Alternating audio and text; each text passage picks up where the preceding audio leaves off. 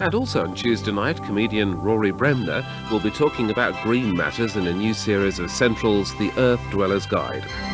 Central is your ITV station.